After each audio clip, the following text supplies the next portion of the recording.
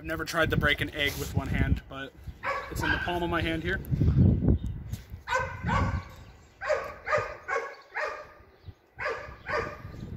Jesus Christ. Okay, that is hard. Gotta get like the perfect grip.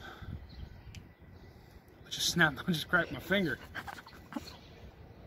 Oh my god, dude.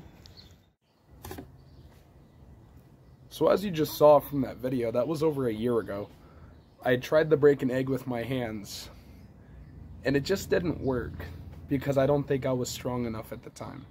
I wasn't working at FedEx, I wasn't improving on muscle gain, I wasn't losing weight, which I am losing weight, technically not weight, but fat.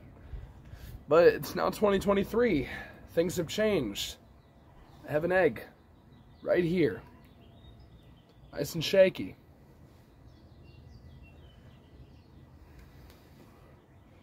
How embarrassing. Oh, yes, Daddy.